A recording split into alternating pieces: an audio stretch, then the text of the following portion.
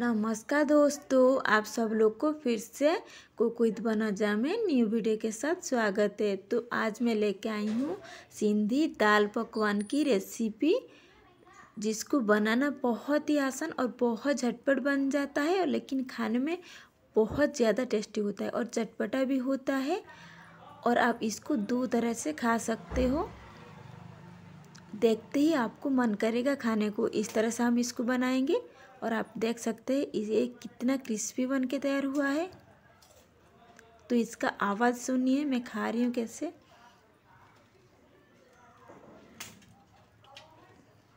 बहुत ज़्यादा क्रिस्पी, जैसे हम लोग चाट वगैरह खाते हैं ना, उसी तरह बन के तैयार होगा। तो चलिए रेसिपी शुरू करते हैं। तो यहाँ पर मैंने चना दाल को एक घंटा के लिए भिगो के रख दिया था गर्म पानी में। तो अच्छे से फूल गया है, देखिए। और इसको हम प्रेशर कुकर में चार सीटी लगवा लेंगे। मतलब ये इस तरह से हम सीटी लगाएँगे कि पूरा मैश नहीं होना चाहिए। और यहीं पर हम स्वाद अनुसार नमक, हल्दी और एक गिलास पानी डाल के इसका लीड लगा देंगे और बस मीडियम फ्लेम में इसमें चार सीटी आने देंगे। तो जब तक हमारा दाल पक रहा है, तब तक हम इसका डो बना लेते हैं।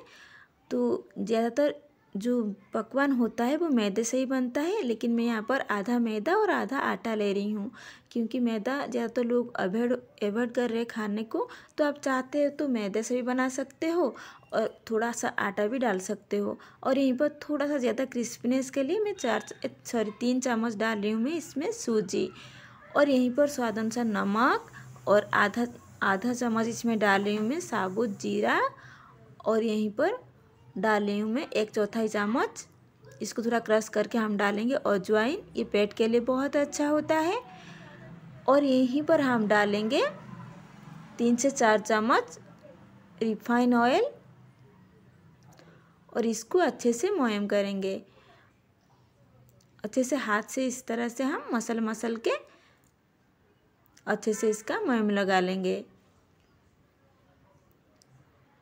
ये बहुत ही बहुत ही चटपटा सा एक रेसिपी है, इसको ज़रूर से ट्राई कीजिएगा।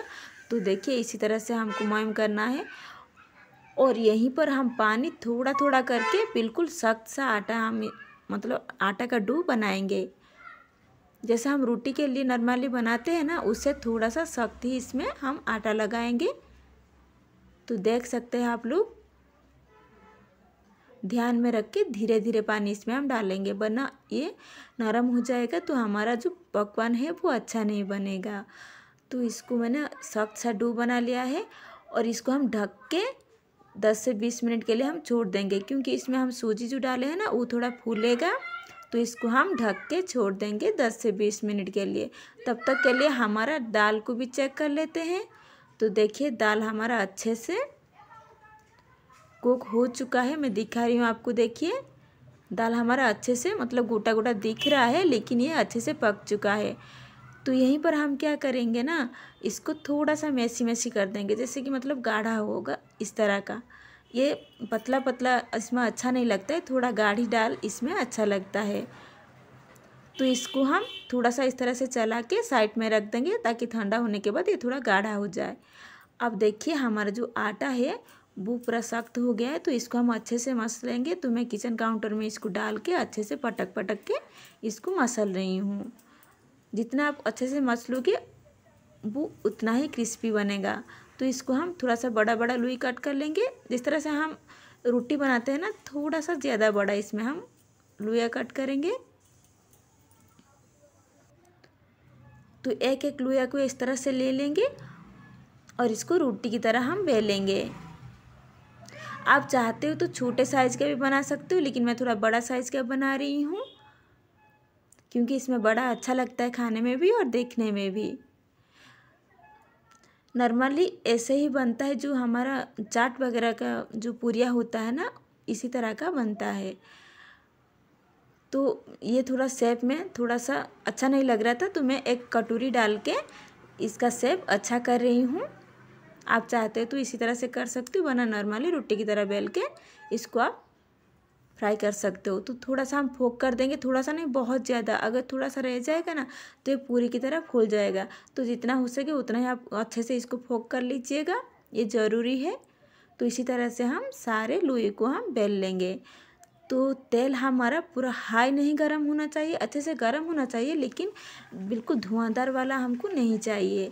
और इसको हम मीडियम फ्लेम रखेंगे और उसके बाद इसका फ्लेम हम पूरा स्लो कर देंगे और ये धीरे धीरे पकेगा तभी जाके ये क्रिस्पी बन के तैयार होगा, वरना ये नरम पड़ जाएगा। गैस का फ्लेम बिल्कुल लो कर देंगे और अलट पलट करके इसको पाँच से छः मिनट के लिए अच्छे से हम फ्राई कर लेंगे, ताकि ये अच्छे से सीख के ना पूरा क्रिस्पी बन के तैयार हो। देखिए, इसका कलर भी बहुत अच्छा आ गया है।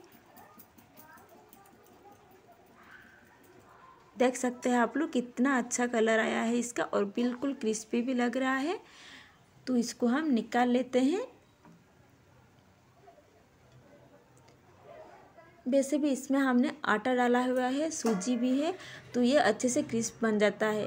लेकिन मैदे का बहुत ज़्यादा अच्छा लगता है, लेकिन अभी सारे लोग मैदे एवॉइड कर रहे हैं तो मैं सोचा कि थोड़ा आटा और सूजी को भी डाल लेती हूँ। तो इसी तरह से हम सारे जो हमारा पकवान है, उसको हम फ्राई कर लेंगे। बहुत ही अच्छा रेसिपी है, इसको आप ज़रूर से ट्राई कीजिएगा, आपको बहुत पसंद आएगा। तो देख सकते हैं कितना अच्छा दिख रहा है हमारा दाल सॉरी पकवान। तो इसी तरह से हम सारे पकवान को फ्राई कर लेंगे। और देखिए, मैंने इसी तरह से इसको अच्छे से फ्राई कर लिया है। अब चलते हैं दाल की तरफ़। तो दाल देखिए कितना गाढ़ा हो चुका है। मैंने थोड़ा सा ऊपर से पानी भी इसका हटा दिया था। थोड़ा सा ज़्यादा पानी हो गया था। तो यहीं पर हम ऊपर से थोड़ा सा कटा हुआ प्याज डाल देंगे, धनिया पत्ता डाल देंगे और ऊपर से भुना हुआ जीरा का पाउडर डालेंगे, गरम मसाला का पाउडर डालेंगे। ये वाला दाल बहुत ही अच्छा लगता है और तीखा वाला लाल मिर्च का पाउडर डालेंगे। और यहीं पर हम डालेंगे चाट मसाला। इसको ज़रूर डालिएगा, बड़ा चटपटा लगता है। और यहीं पर हम थोड़ा सा रेड चिली मतलब जो कलर के लिए आता है ना, उसी को हम डालेंगे। और इसको तड़का लगाएँगे तो मैंने घी को अच्छे से गर्म कर लिया है। थोड़ा सा साबुत जीरा इसमें हम डाल देंगे और इसमें हींग डालेंगे। थोड़ा सा हींग ज़रूर डालिएगा, बहुत अच्छा लगता है स्वाद में भी और पेट के लिए भी। और एक चम्मच हम डाल देंगे लाल मिर्च का पाउडर। ये बिल्कुल तीखा नहीं है, बस जस्ट दिखने में अच्छा होता है। तो देखिए, हमारा दाल तड़का बन के तैयार हो गया है, बहुत ही लाजवाब बन के तैयार हुआ है। अब इसके साथ मैं बनाई हूँ इमली की चटनी और हरे वाली जो पुदीना और धनिया का चटनी मैंने बनाई। साथ में प्याज और हरा मिर्च भी डालूँगी। इसके साथ पकवान खाने में बहुत ज़्यादा अच्छा लगता है। एक बार ट्राई करके देखिएगा, आपको बहुत ही बहुत पसंद आएगा। तो देखिए, हमारा पकवान बिल्कुल रेडी है। अब इसको ऐसे तोड़ के खा सकते हो। तो ज़रूर से इसको आप ट्राई कीजिएगा और मुझे फीडबैक ज़रूर दीजिएगा। तो चलिए, मैं एक तोड़ के भी दिखा रही हूँ आपको। देखिए, कितना क्रिस्पी और खास्ता बन के तैयार हुआ है। आपको आवाज़ से पता चल रहा होगा।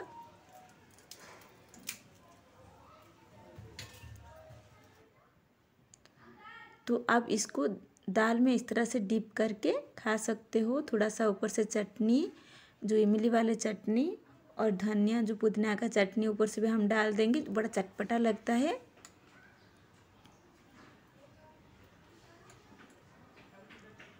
थोड़ा सा हरा मिर्चा अगर आपको पसंद है तो ज़रूर से डालिए ऊपर से और थोड़ा सा प्याज भी डालिए।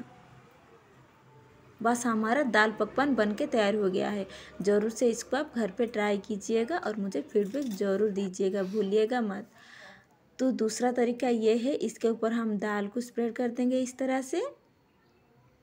चाट की तरह इसको बनाएँगे, लेकिन चाट से बिल्कुल भी इसका स्वाद कम नहीं है। जो पापड़ी चाट बनाते हैं ना, उसी तरह हम इसको बनाएँगे। ऊपर से इमली की चटनी और धनिया पुदीना की चटनी जो दिखने में बहुत ज़्यादा अच्छा है। और कटा हुआ प्याज, आप चाहते हो तो अनार के दाने भी इसमें भी डाल सकते हो। और कटा हुआ धनिया का पत्ता, भुना हुआ जीरा का पाउडर, गरम मसाला, चाट मसाला और थोड़ा सा नींबू का रस।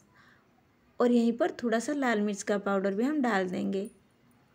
और मेरे पास जो होता है ना, सेव, वो नहीं था तो मिक्सचर में थोड़ा सा ऊपर से डाल दिया और थोड़ा सा ऊपर से और चटनी में डाल रही हूँ।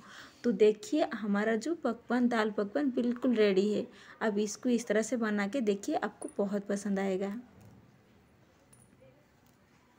तो थैंक यू फ्रेंड्स फिर मिलूँगी न्यू वीडियो के साथ। तब तक के लिए मैं अपना दाल पकवान एंजॉय करती हूँ। Thank you for watching